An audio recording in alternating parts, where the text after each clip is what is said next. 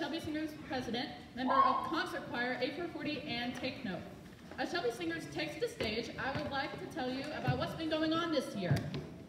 Many members of our choir have participated in an optional one-day or two-day choir festival held at the University of Kentucky and Eastern Kentucky University, working with some of the top choir conductors in the state.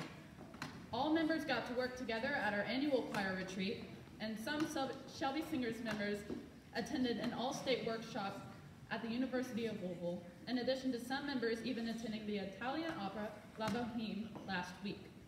Our choir, piano, and music theory classes have been rehearsing, rehearsing upstairs next to the history classes so far this year, while our dear choir room has been renovated. But luckily, today was the first day we were able to be back, which we were very happy about, and we hope that we can have our own theater by feet. Oh my gosh, own theater by Christmas. Fingers crossed. Tonight, Shelby Singers is performing My Old Kentucky Home Goodnight, written by Kentuckian Stephen Foster and published in January of 1853. Oh. My Old Kentucky Home Goodnight was labeled Kentucky State Song in 1928 and has been played almost every year since 1936 by the University of Louisville Marching Band before the state of the Kentucky Derby. Yep. We hope you enjoy.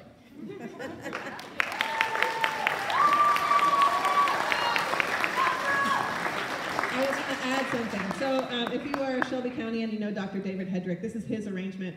Uh, he taught at Shelby County High School in the choir for about 30 years, I think, something crazy. He was my director, um, and it's a wonderful arrangement.